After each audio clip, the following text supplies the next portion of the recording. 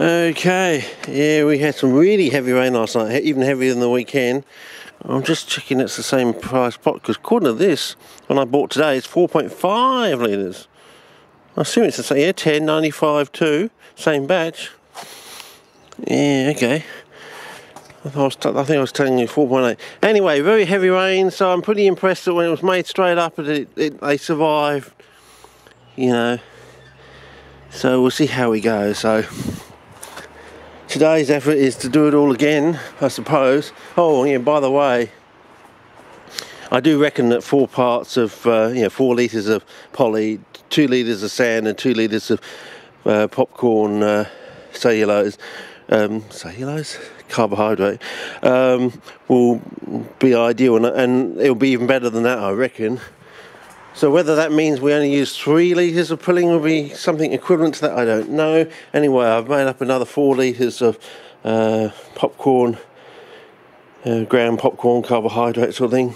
So I'm just going to get into it. Got my eggs there, got my, my oxides there, uh, my meat, the sugar, all ready to go to do another run. But this time we're going to try out the prilling because if we can get the prilling to work, it still generates reductive flammable gas. Whether we actually need the bollocks dye, I don't know, but it'll um, it'll be a lot cheaper, a lot simpler, a lot faster, and uh, we can go from there. So the usual thing.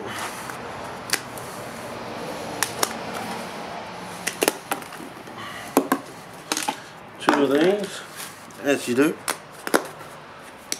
So it's two litres of this which reduces down to basically nothing in a way, which is very strange. Basically one of all this 50-50 peat and sand is really, was it really sand, you know? you know, was it... So we get our, get our sand here.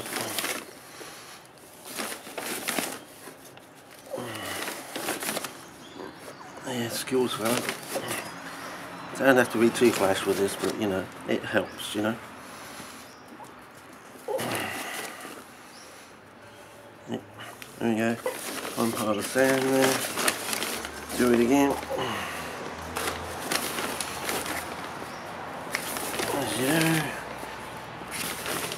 Oh, you can, yeah, as soon as I've got the damp sand touching the, you can smell the, the smell coming off already